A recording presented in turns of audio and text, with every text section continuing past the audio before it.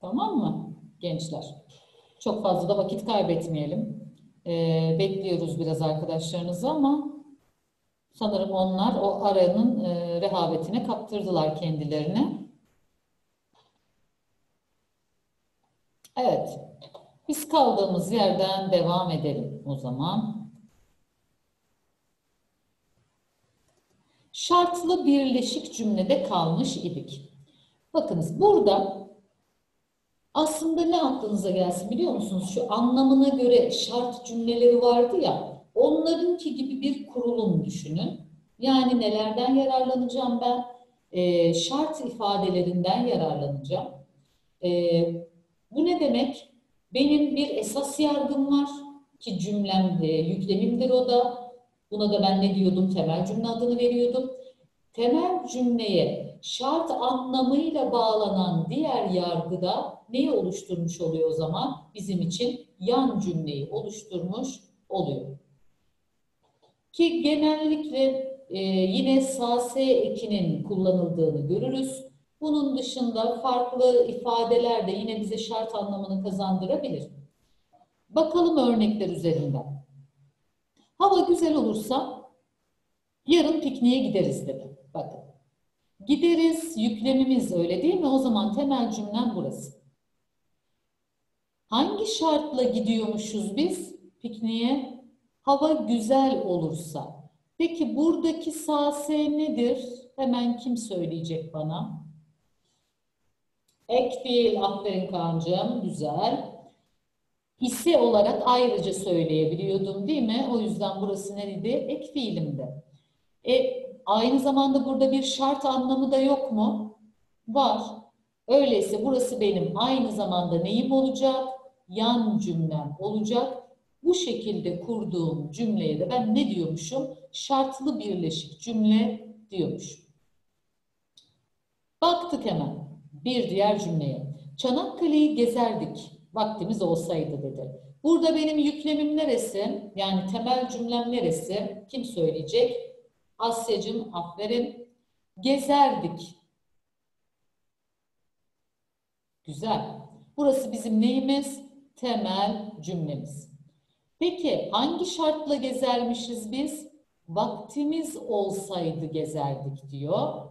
Bu sefer neyi kullandı? Bakın buradaki sesane ekidir. Şart kipidir. Harikasın. Güzel. Şart kipidir. Aferin. Diğer örneğimiz. Cihanın yurdu hep çiğnense çiğnenmez senin. Yüklemim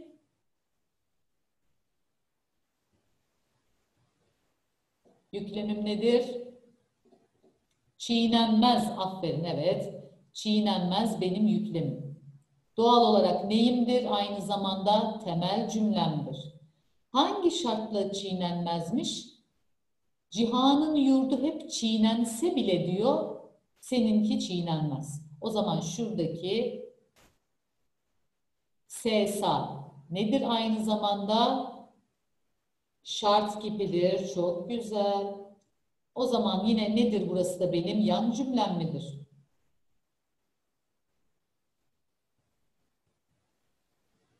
Evet, şart gibi böyle hemen birkaç tane daha örneğe bakalım. Havaya bakarsam hava alırım demiş. Yüklemim burada alırım mı? O zaman burası benim neyim? Temel cümle. Hangi şartla hava alıyormuş? Havaya bakarsa. Bakınız S sa'yı kullandı. O zaman burası benim neyim olur? Yan cümlem olur. Ve buradaki S nedir? Şart mı ek fiil mi? Ek fiil. Çok güzel. Toprağa bakarsam dua alırım dedi. Yine alırım temel cümlem mi? Temel cümlem. Çünkü yüklemin burası. Hangi şartla dua alıyormuş? Ha. Bir saniye. Şurayı mı diyorsun Tuana?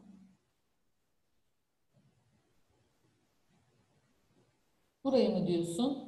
Rica ederim. Örnekleri mi alıyordun?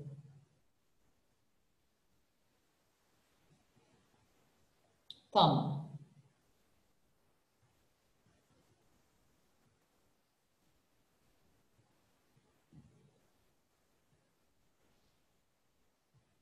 Rica ederim tatlım.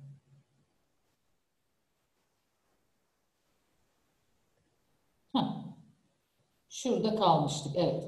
Dua almasının şartı neydi? Toprağa bakması değil mi? Bakınız yine SSA var. O zaman burası benim yine yan cümlem olacak. Buradaki S'de tıpkı yukarıda olduğu gibi yine nedir? Ek fiildir değil mi? Topraktan ayrılsam nerede kalırım dedi. Buradaki yüklemim kalırım olduğuna göre yine benim neyimdir? Temel cümlem. Hangi şartla kalırmış? Topraktan ayrıldığı zaman değil mi? Oradan ayrılsa dedi bakın. SSA'yı yine kullandı. O zaman burası da benim neyim oldu? Yine yan cümlem oldu. Evet benim sadık yarim kara topraktır dedi. Aşık Veysel'den bir dörtlük mü dinledik?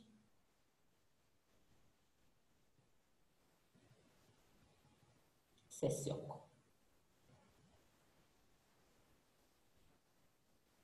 Hangisindeki canım? Şu üçüncü dize mi?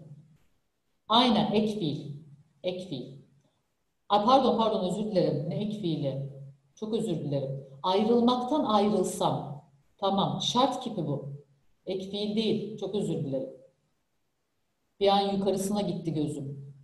Tamam mı? Çünkü burada ayrıl diyemem. Tamam mı?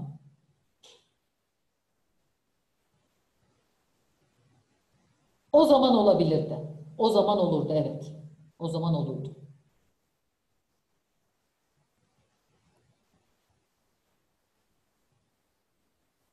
Tamamdır. Evet. Ee, artık demir almak günü gelmişse zamandan meçhule giden bir gemi kalkar bu limandan dedi. Şimdi bu iki dizede yüklem nerededir kim söyler bana? Kim söyleyecek? Bunların yüklemi nerede? Bu iki dizenin yüklemi neresi? Evet Kaan'cığım aferin sana. Kalkar burada bizim yüklemimiz yani doğal olarak temel cümlem burası. Peki burada hangi durumda kalkıyormuş? Gemi hangi durumda kalkıyormuş?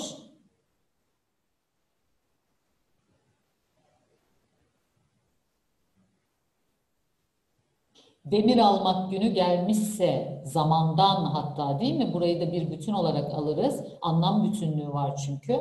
Gelmiş ise bakınız.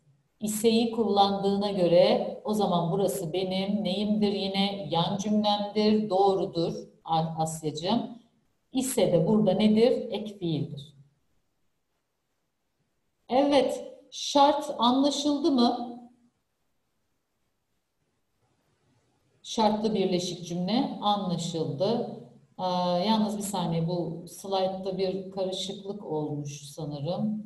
Halbuki düzenlemiştim ben onu ama bir dakika bekleteceğim sizi.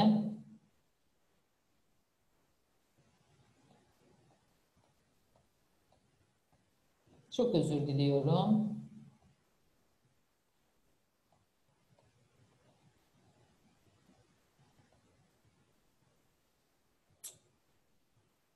Neyse, ben bunu size ayrıca o zaman şeyde yazarak anlatayım.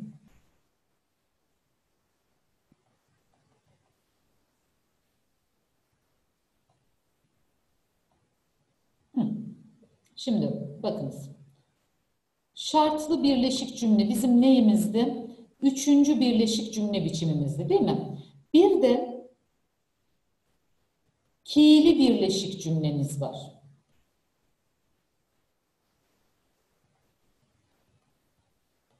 Bu demek?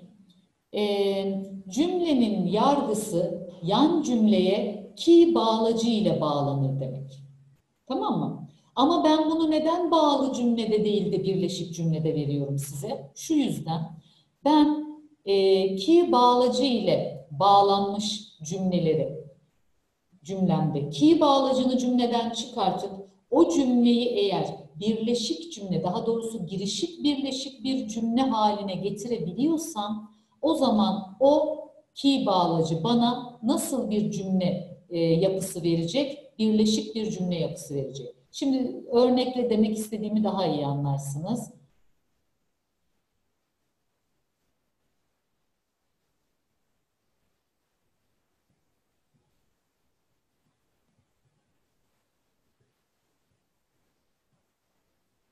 Mesela duydum ki unutmuşsun dedim.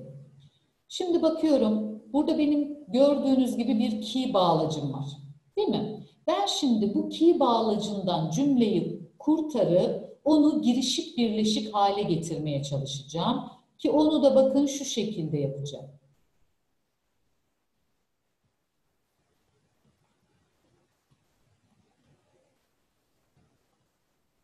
Oldu mu böyle? Aynı anlamı verdi mi?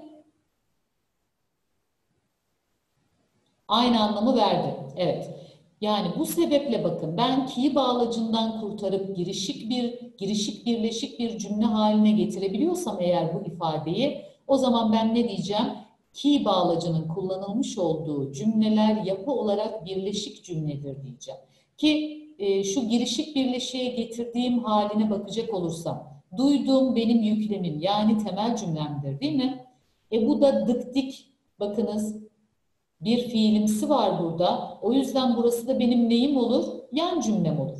O zaman ki'li cümle üzerinde gösterecek olursam ben e, temel cümle ve yan cümleyi. Ki'den öncesine ne diyeceğim? Temel cümle diyeceğim. Ki'den sonrasına ise ne diyeceğim? Yan cümle. Tamam mı? Hmm, başka bir tane bulayım. Cümle. Ne olsun? Ne olsun, ne olsun, ne olsun. Gelmiyor da şu an aklıma. Sizin aklınıza cümle geliyor mu?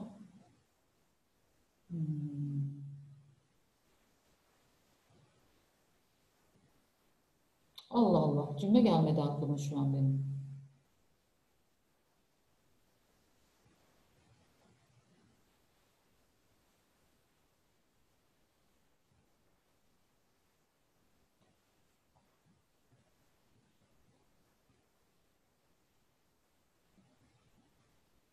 düşündüm ki ile başlayan olur mu? Olabilir tabii ki olabilir. Gerçi ben aklıma tam bir an bir şey geldi onu yazıyordum ama aynı mantık aslında. Mesela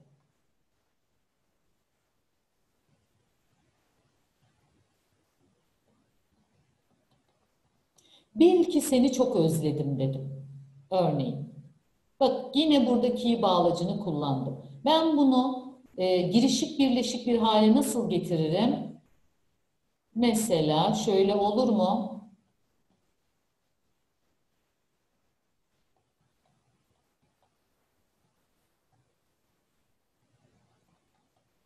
Oldu mu böyle girişik birleşik bir cümle? Seni çok özlediğimi bil dedim. Bil ne olur benim? Ki bağlacı illa Hı, devamı Asyacığım. Fiile mi gel? Genellikle, genellikle öyle oluyor. Çünkü ki'den öncesi bizim neyimizi oluşturuyor? Temel cümlemizi oluşturuyor ya. Bu sebeple. Genellikle öyle oluyor, evet.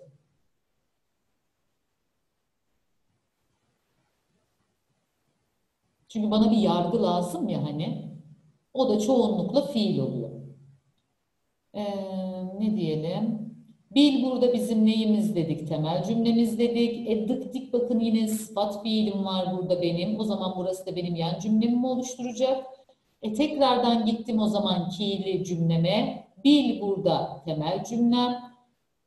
Seni çok özledim derken bu da benim neyimi oluşturacak? Yan cümlemi oluşturacak. Burada hem fikir miyiz? Anladık mı ki'li birleşik cümleyi? Bir sıkıntımız yoksa geçeceğim çünkü. Örnekleri de aldınız mı? Tabii canım sorabilirsin.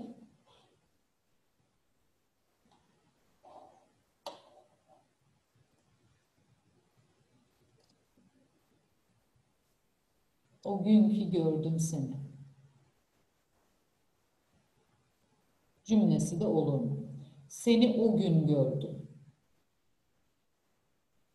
Gördüğüm gün hı. Ama sen orada fazladan bir sözcük türettin şu an. Gördüğüm gün derken.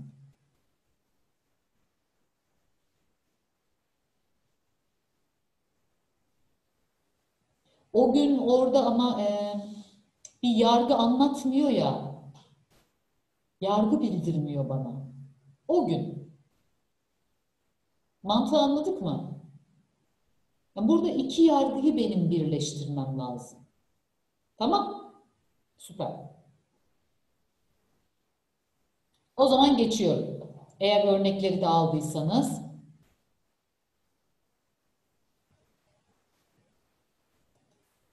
Geldik sıralı cümleye. Evet şimdi e, sıralı cümle dediğim bakın adı üzerinde cümleler sıralanacak. Peki nasıl sıralanacak? Virgül ya da noktalı virgülle birden fazla cümlenin peşi sıra getirildiğini göreceğim ben sıralı cümle diyebilmem için. Yani en az burada benim kaç tane cümleye ihtiyacım var? En az iki cümleye ihtiyacım var. Mesela bakıyoruz. Yağız atlar kişnedi, meşin kırbaç şakladı dedi. Baktığımda kişnedi yüklemim. Doğru mu? Şakladı başka bir yüklem. E bu iki tane cümle demek. Ben bu iki cümleyi nasıl birleştirmişim? Virgül ile birleştirmişim. O zaman buraya da ne diyorum? Sıralı cümle diyorum yapısına göre. Bir dakika araba yerinde durakladı. He, burada bir şey yok. Neden sonra sarsıldı altında demir yaylar? Gözlerimin önünden geçti kervansaraylar. Bakınız burada da sarsıldı bir yüklem. Son dizedeki geçti bir diğer yüklemim öyle değil mi?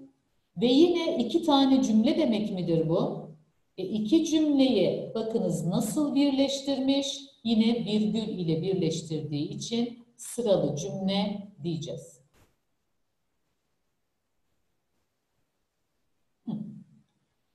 Sarı çiçeğin saçları yolulmuş, yolunmuş, kana bulanmıştı. Baktık, yolunmuş, yüklemim, bulanmış, bir diğer yüklemim. E ne ile birleştirdim yine? Virgülle birleştirdim. O yüzden yine nedir bu da? Sıralı bir cümledir. Bu asırlardan beri böyle ola gelmişti. Asırlarca da böyle sürüp gidecekti. Bakınız yine var mı iki cümlem? Ay çizdim. Pardon. Ola gelmişti. Bir yüklem gidecekti. ikinci yüklemim. Yine bakın ne yaptı? Virgülü kullandığı için sıralı cümle diyeceğiz. Şimdi sıralı cümlelerde şöyle bir şeyden bahsederiz biz. Ee, bağımlılık ya da bağımsızlık. Ne anlamında bu peki? Sıralı cümleleri biz bu bakımdan ikiye ayırırız. Eğer sıralanan cümleler arasında ortak en az bir öge varsa biz buna bağımlı sıralı cümle deriz. Yani herhangi bir ögesi en az ortaksa bağımlı sıralı. Eğer hiçbir ögesi ortak değilse buna da bağımsız sıralı cümle adını veriyoruz. Bakalım. Otobüs her zamanki gibi yine geç geldi. Biz de derse geç kaldık dedi. Baktım şimdi. Geldi yüklemim.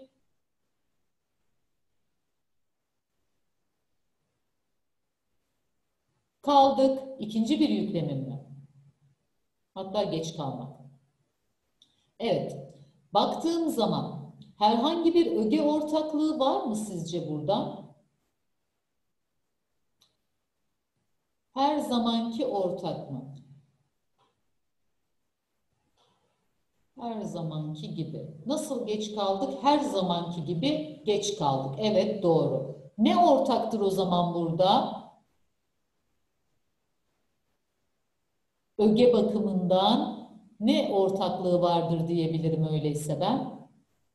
Hangi öge olur bu? Güzel. Zarf demiyoruz ama zarf tümleci diyelim. Zarf tümleci ortaktır. Başka var mı ortaklığı? Başka bir ortaklık. Hatta yineyi de alabiliriz burada. Yine zarf tümlecidir değil mi? Bu da. O yüzden bu iki zarf tümleci her iki cümle içinde ortaksa ben buna ne derim? Bağımlı, sıralı cümle. Mart kapıdan baktırır, kazma kürek yaktırır dedi. Baktık şimdi. Baktırır, yüklem. Yaktırır, yüklem. Baktıran ne? Mart. Burası bizim neyimiz? Öznemiz. E yaktıran ne? Yine mi Mart? E o zaman ne derim ben? Özne her iki cümle içinde ortaksa o zaman bu cümlelerimde neymiş benim? Bağımlı sıralı cümlelermiş. Mallarımızı önce çaldılar, sonra bize geri e, sonra geri bize sattılar dedi. Baktım, çaldılar, yüklem, sattılar, yüklem. Yine ne kullandı? Virgül kullandı. Çaldılar. Kim? Onlar mı? Onlar bizim gizli öznemiz. Neyi çalmışlar? Mallarımızı. Bu da bizim nesnemiz.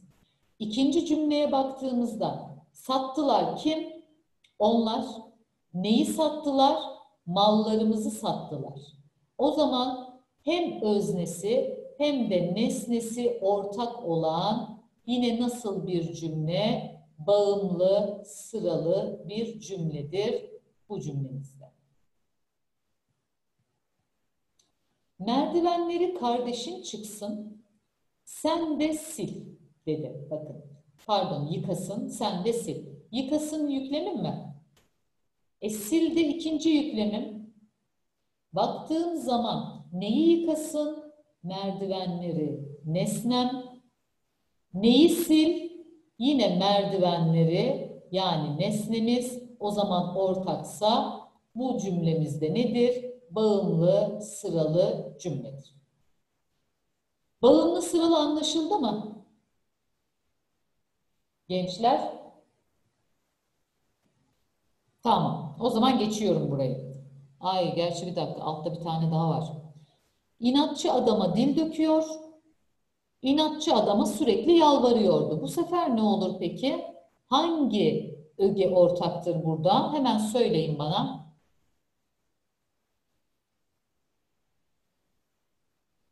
Hangi ögedir ortak olan? Aa. Ha, gerçi o da ortaktır. Doğru. Doğru. Özne de ortaktır. Kim o? Ben cümlede geçeni soruyorum şu an. Cümlede yazılmış olan, ortak olan ögeyi soruyorum. Kim söyleyecek? İnatçı adama. Nedir o öge olarak?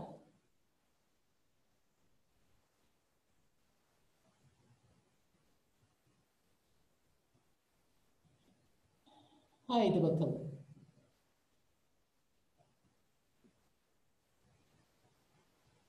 Cevap yok. Aynen, kesinlikle. Kime dil döküyor? İnatçı adama.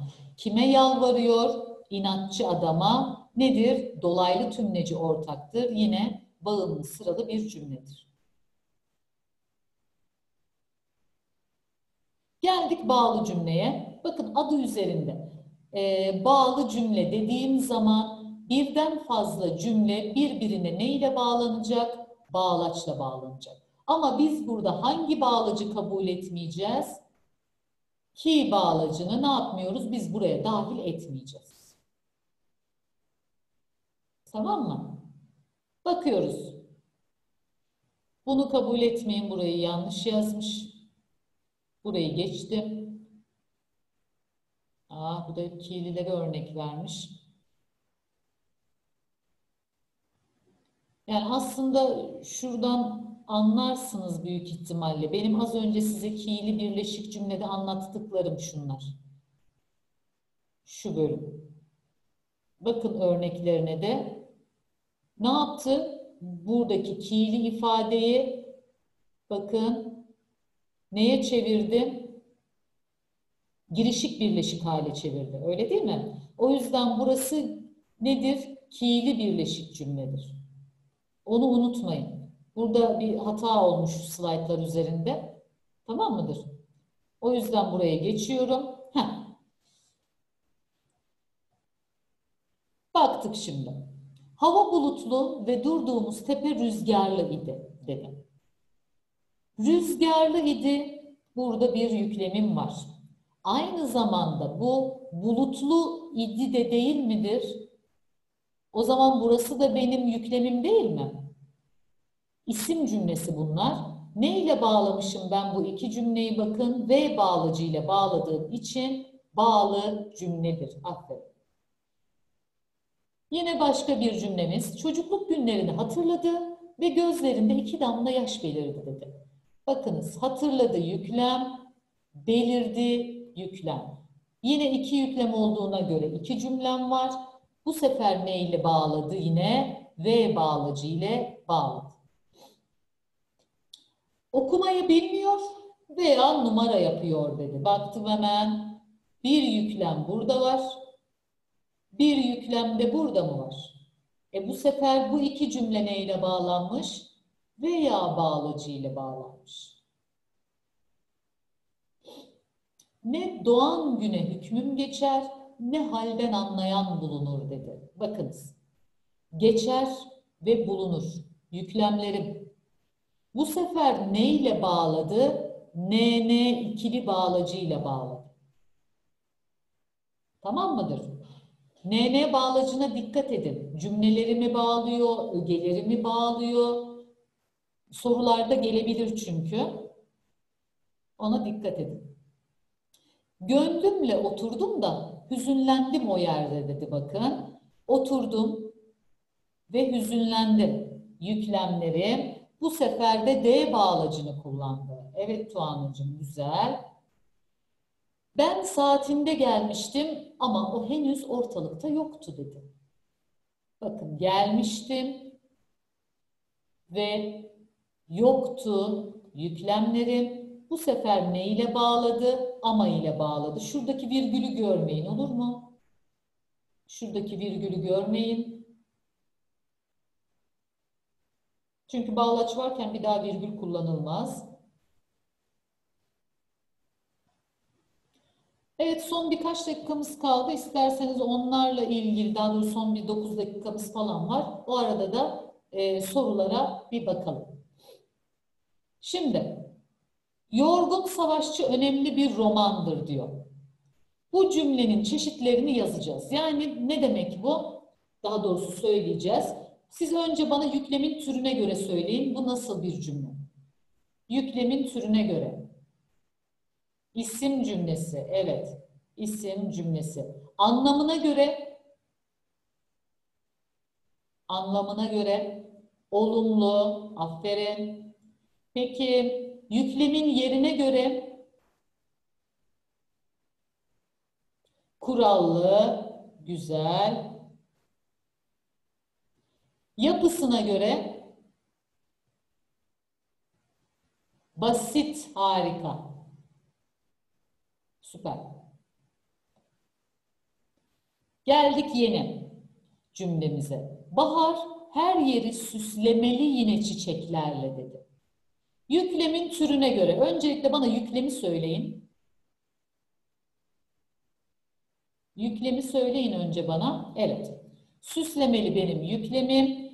Bu yüzden de nedir bu bir fiil cümlesidir. Peki anlamına göre Olumlu, harikasınız. Ee, öge dizilişine göre devrik, süper. Peki yapısına göre evet basit. Doğru. Aferin. Evet, şimdi buradaki yüklemin türüne göre nedir? Ne cümlesidir bu? Fiil harika. İkiye bakıyorum. Ömrümün son demi, son baharıdır artık dedi. Son demidir, son baharıdır. Çok güzel. İkisi de isim öyle değil mi?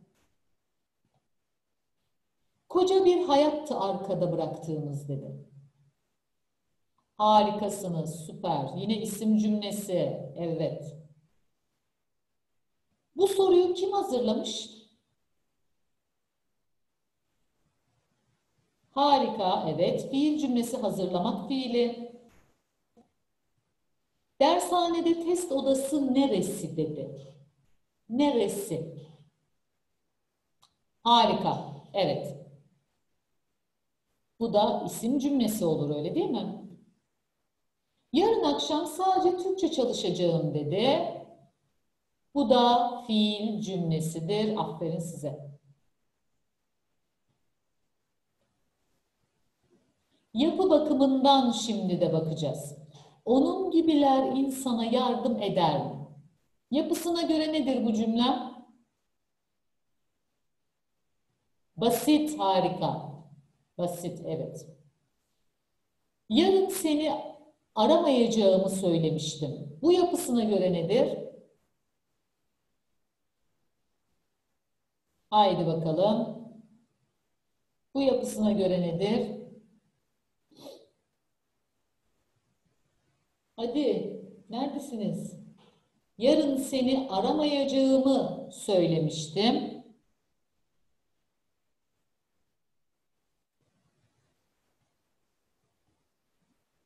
Birleşik, evet. Hatta nasıl birleşik bu? Bakın burada ne var? Ecek acak. Sıfat fiil mi bu?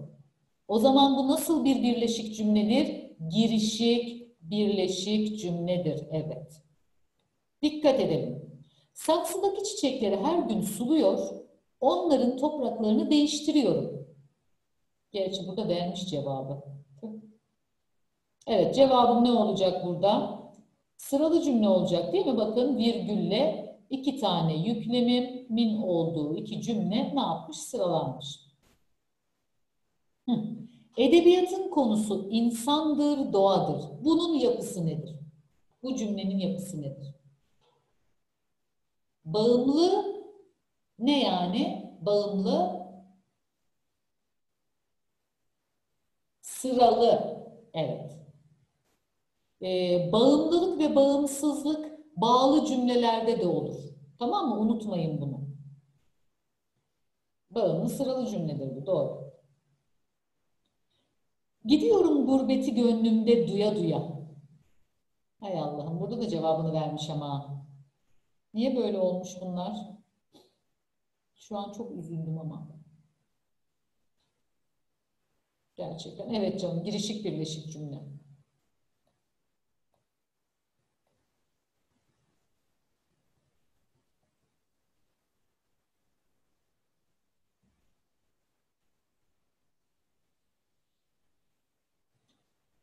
Hmm. Şimdi baktığımız zaman bunu mesela nasıl yapabiliriz biz e, kurallı bir cümle haline getirebiliriz? Tamam anladım. İstediğiniz gibi yapın mı olur? Öyle değil mi? Şuranın nereye gelmesi gerekir? Buraya gelmesi gerekir. Kurallı bir cümle olması için. Sallanmaz o kalkışta ne mendil ne de bir kol. Yine ne olacak? O kalkışta ne mendil ne de bir kol sallanmaz mı olacak? Yani şuraya mı getirmeliydim yine? Öyle değil mi?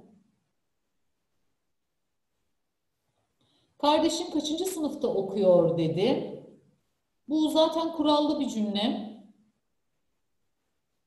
O yüzden bunda yapacağımız bir şey yok. Az veren candan, çok veren maldan demiş. Bakın eksiltili bir cümle. Ee, bu eksiltili cümleyi ne yapın diyor? Devrik cümle haline getirin diyor. Az veren candan, çok veren verir maldan dedim mesela. Olur mu? Ben verir fiilini kullanmak istedim. Oldu mu? Bence oldu. Ne yaptık? Devrik yaptık çünkü onu. Evet gençler. Süremiz dolmak üzere bir dakikamız var sanırım. E, cümle çeşitleri konusunu bitirdik. Var mı bir sıkıntımız? Bir sıkıntımız var mı? Süper. Ee, o zaman ben teşekkür ederim tatlım. Bir dahaki derse bu sefer e, sayıyı daha da artırıyoruz. Diğer arkadaşlarımıza da söylüyoruz. Girmeyenler mutlaka geliyorlar derse. Tamam mı? Bir sonraki derste yeni bir konuyla birlikte görüşmek üzere diyorum. İyi bakın kendinize.